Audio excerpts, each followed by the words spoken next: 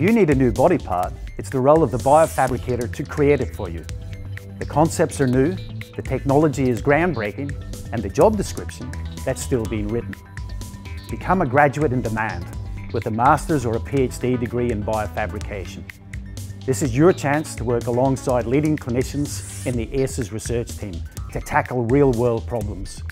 You'll also have an opportunity to work with our partners in Europe and indeed around Australia. Take a look behind the scenes with one of our current students. I've been working with leading clinicians and fabricators to turn the amazing properties of ulvan found in seaweed into a new treatment for burns and skin wounds. ulvan is antibacterial, antiviral and even anticoagulant, making it perfect for skin healing. In my work, I turn the ulvan into a gel.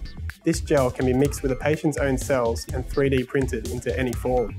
The idea is, when you go and get your wound or burn treated, the site can be scanned and a customised 3D scaffold will be printed to enhance the healing process.